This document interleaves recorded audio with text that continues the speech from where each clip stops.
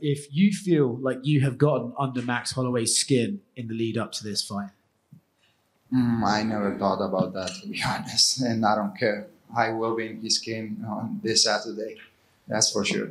You know, he's saying that uh, he was here earlier today and he feels that, you know, about this whole finger pointing story that you haven't earned that moment with him yet and you're just a cop, uh, copycat of Conor McGregor. I never asked him if I deserve that or not. I will be pointing to the ground since the first second of the fight. If he wants to stay with me in the middle, it's okay and prove that he's the real BMF. Uh, and if he decides to don't do that, it's okay too. I'm gonna I'm gonna find a different way to finish him and take his head off. Um, I get the impression that Ilia Topuria is not necessarily under your skin, but some of the things he says kind of confuses you more than annoys you. Would that be accurate? Yeah, I'm more confused about everything that he's saying about uh, me not wanting to fight him, me getting forced to fight him. I, I the dude just, I mean, he got me, he got me out here feeling like how he looked after my my Gaethje fight. So it's crazy. Uh, I've noticed that in the lead up to this fight, you've had a BMF belt, but it's not here today. Did you bring it with you to Abu Dhabi? Uh, yeah, I have it with me. Did you decide that you deserve to be the BMF belt because he wasn't defending it against you, or why did you purchase that? For me personally, the, the, the opinion I have is that that belt was created for and because of George Masvidal. Beside of him, no one is a BMF. But if someone has to have it, I prefer to have it. Do you get the impression, right? He's clearly a confident guy. He clearly believes in his skills. But do you think when he's talking about, oh, I'm going to fight for the lightweight title, then the welterweight title, and Max is going to be easier than Josh Emmett, do you think he believes what he's saying, or is he trying to sort of build himself up so he gets that confidence? Uh, I think, uh, I mean, I don't know, bro. His mind is very interesting. I, I, I couldn't answer that question for you, to be honest, bro. Um, but if that's what it takes to be the best, the best version of himself come Saturday night, then so be it. You know, he can talk all that talk he wants because at the end of the day, he still got to see me in three days. Out of all the things he said, is the whole "I'm going to point at the floor in the first ten seconds" thing the one that kind of makes you roll your eyes the hardest? Yeah, because it just makes no sense. You know, at the end of the day, to me, I I, I don't think he deserves. You got you got to earn that right. I don't think he deserved that right. With him being. Uh, I mean, you know, you know the guy that he's copycatting. This guy's a copycat. You know, down to the tattoos, to his aura, to the way he's approaching fights. The guy's a copycat, and you you're best friends with the guy he's following. So, uh, trying to copy. So, at the end of the day, I think you got to earn that moment, and uh, I believe he had that. He could have earned it with Josh Emmett in in their five round roar. Josh Emmett was trying to swing. If you guys can go back to that fight and watch what happened, when Josh Emmett was trying to swing, someone shot and someone hold someone down for the rest of the fight. So I think the moment needs to be earned, and he's just he's just trying to steal stuff. You know, he's already trying to steal one person's aura, and now he's trying to steal some somebody else's thing. So it's just it's amazing. Do you believe that your chances of winning this fight go up if it's about finishing him, or if it goes the distance? Can you match with him for the whole five rounds and match his pace? Uh, of course, I'm I'm ready. For, not for five rounds, to be honest. I'm ready for for ten or fifteen rounds, whatever he wants to do. I can, I can do it. Uh, but I I don't think that the fight will will go to the distance. I will finish him mm, before that. If you knock out Alex Volkanovski and Max Holloway in one year, does that make you the best fighter this year? Uh, I, I don't know who takes that, that, that decision, but if they, they think that I'm the best fighter, I will be very grateful with that. If not, Alex is a great fighter too. He deserves to be the best fighter. You? Right here. He's clearly a good fighter, right? No one does that to Volkanovski if they're not a good fighter. But you, in your career, fought Aldo, you fought Conor, you fought Volkanovski. You fought the best of the best in this division's history. When you look at Ilia as a fighter, how does he rank up against those names, or do you st- still think he's kind of unproven? I mean, he's an animal. He's good. You know, a, a, lot of people forget that when he came into the UFC, he got brought in as a as a grappler and wrestler. That's what he was, and he came into the UFC, he started knocking dudes out. His boxing is nice. As a fighter, you cannot be a hater and say he's not good. You know, is he proven? He did what he had to do when he had to do it to get to the position he has. So there's no disrespect to that. But you get to see me come Saturday night, so that should be fun. Um, you've used the phrase that you're the new era of mixed martial arts quite often. Max, I, I asked Max, Max about that. He said, you know, you don't really do anything different. You punch, you kick, you wrestle, you do everything everyone else has done. So I guess what exactly do you mean by saying that you are the new era of MMA? The, the way I applicate the techniques and the, and, and the skills to my opponent, the way I move uh, my head, the way I, the way I dominate the, the octagon. That's the that's the difference. What, what uh, evolution do you see in Max Holloway in every fight? Maybe only in striking, but you don't see him getting better in wrestling or in the ground. You don't see him try, trying new things. Only in the striking. This is what I'm talking about.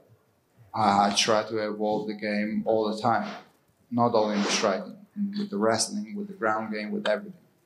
And to kind of go off of that, you know, everyone talks about Max Holloway's boxing, and he's the best boxer in the UFC. And this, you know, he broke Justin Gaethje's nose right away with that spinning back kick. Uh, he hurt Anthony Pettis with the same kick. Do you think people are focused so much on his boxing that maybe they don't see everything else well that he does?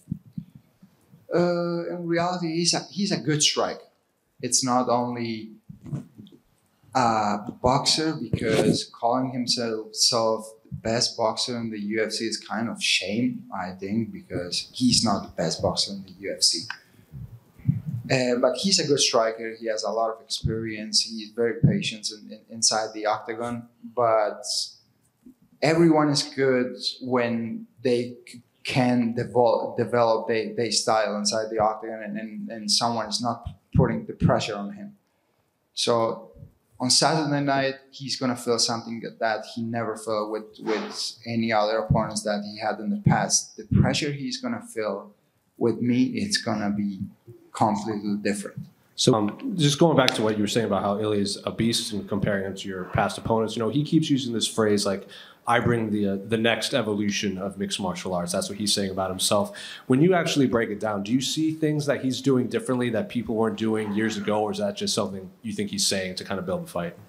I mean, it's probably something to bring the fight, to build the fight, because uh, I don't think he's doing anything different uh, than than than people. You know, I mean, everybody strikes, everybody wrestles, everybody judos, Greco-Roman, whatever you want to call it. Everybody does this. It's mixed martial arts, and he's putting it together uh, pretty well for himself. But I mean, like he's saying, this new generation. I'm I'm only a couple of years older than him, so know, I've been I've, I've been here, done that. Like I said, a lot of people keep forgetting how how young I was. You know, like I said, when I was, I think ESPN posted it when I was his age. I had like all my title wins and title defenses already. So that's just how that goes. Would you say you're the best boxer in the UFC? Uh, I don't like to take credits from anyone in, in, in, the UFC because we have a lot of great fighters. And let's the people to decide that, right? Let's the people to call you the best boxer in the UFC. The last one for me, Diego Lopes is weighing in as the backup. You know, you've said respectful things about him. He said respectful things about you. Have you run into him at all in the hotel? No, I didn't see him, but he, he seems to be a good guy. Title fight aside, and the hype around this fight, after UFC 300, there were a lot of you know journalists and fans. They kind of circled this fight as their most anticipated fight for the rest of the year, right after UFC 300. You guys weren't even booked yet, so do you kind of take that as a like a like do you take pride in that? That even though the fight wasn't booked, like people were like, Jon Jones has still hadn't fought yet, and you know Pereira hadn't done his thing yet, but people were still circling this fight as like the one that they wanted to see. For sure, for sure, man. When you when you your name is put up against guys like Alex Pereira and Jon Jones and people, you know, and, and these guys are still fighting. There was fighting this year, you know, there, there was gonna have fights this year, and when you put those names against our names, and they said this is the fight that everybody wants to watch, I mean that's pretty amazing, you know. At the end of the day, I'm just stoked to be uh, to be talked about in that in that sense. Um, a lot of fighters are reluctant to speak out about their goals, what they want to do in these fights. And you've said it all. You want to be three division champion. You're going to knock out Max in the first round. All these things. Where does that confidence come from, and why are you not maybe as reluctant as some other fighters to speak about what they, you feel is going to happen? They asked me what I want to achieve in the UFC and what was my my if I could like dream big. So uh, my answer was I want to become a UFC three weight class world champion. And what makes me be so confident? The hard work I'm putting in and to know what I'm able to do inside that octagon. Uh, Alexander Volkanovski, I know you had an interaction with him yesterday. Does that kind of go how you thought it would be? You guys were respectful. You'd shake hands. I always respect Volk, always. Before the fight, after the fight, there was nothing personal. I was only fighting for my dreams. And this is the same thing what's happening this Saturday with Max. I have all the respect for him. He, he had, he's a great fighter. He has achieved many great things in the sport. Um, you can't take the credit from him. So I have learned many, many things from him. He called me a fan. Yeah, I followed his career. I've been a fan. How can you not be a fan of Max Holloway, right? So he's been a great example for me, but now it's my time to be that example for the new generation. And when Alex did his Alex Volkanovski did his breakdown of this fight, he said that he's not sure that like can like fight through being uncomfortable with you. You kept using that word like if it gets in the later rounds, Max can make this uncomfortable. Is that how you see the fight playing out? Like in the later rounds, you can kind of just kind of take him out of his element and make this fight uncomfortable. Yeah, I mean, we see what happens. You know, you never know. You never know what can happen. Your boy been uh, touching people on the right spot and been putting them down. So you know that, that that's always fun. And uh, at the end of the day, we see what happens. You know, I know he talked about his cardio. He's, he believe he has cardio, but most of the time, his cardio is outshining the, the opponent's cardio because he's hurting them early in their fights. You know, and um, the beautiful thing is, guys, I, I just cannot wait, man. I can't wait. It's gonna be something special. Tune in uh, Saturday night. Also, to speak about, you mentioned the enemy's territory. This looks like a little bit enemy's territory because of the last couple of weeks you spoke with Islam and all the fighters from Dagestan who likes to fight here.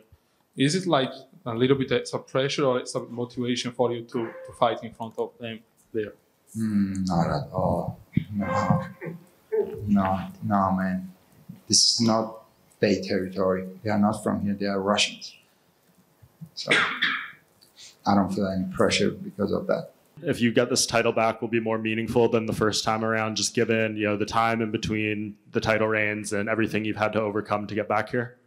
Never never not, not i mean i don't know for you guys the way you guys look at my career but personally fighting all the a guy who i stood uh, i stood idolize and what he's doing the, the dude is still fighting bro. What the hell? He looks It does he age? I mean, I, I, I saw somebody talk, talking about how they might be lying on his age and he's still moving like that. It's just crazy. And uh, to fight the King of Rio in Rio, to win it the way I did, uh, nothing's gonna ever top that moment for me. Can we bring back the hex ties if you get the win here? Maybe, maybe bring back the suits and the hex ties. Maybe. Never say never. Um, Shane, you say that you were a Max Holloway fan when you were young and watching him while growing up and becoming the professional fighter. What kind of difference you see from Max, for example, five, six years ago and Max today? That's the thing. I don't see any, any, any difference. He's the same Max Holloway that we have seen since I don't know 2020. Mm, since I made my UFC debut, he, he's the same one. Uh, good striker, uh, very patient in the, in, in, the octagon, but that's it. Uh, I didn't see any evolution in, in his game. Um, a lot of talk this week about how you moved up three spots in the lightweight rankings. Um, I'm just curious what you thought about that happening, given the fact that you know it's you were at one spot and you hadn't fought since then, and then this week you jump up again. Yeah, I don't know. I don't know, man. The the the the, the ranking is wild. It doesn't it doesn't matter unless you got the belt. So it, it's cool moving up, this and that, being in the palm upon everything. But if you're not first, you're last, I guess if you have uh, two belts over your shoulders after this fight, is it going to be a tough decision to decide which one you want to defend? Not at all, man. Not at all. UFC can tell me what they want to do, and we can do it. You know, so I mean, there's there's a lot of fun fights here at 45 now. Division is like kind of uh, coming up. I know they bring somebody else up here, so with Diego, so that, that's a cool cool couple guys coming up. Uh, 55 is always fun to throw my name in the mix, but first things first is uh, Ilia. You know, I got my hands full with him, and um, you can ask me that question after uh, Saturday night.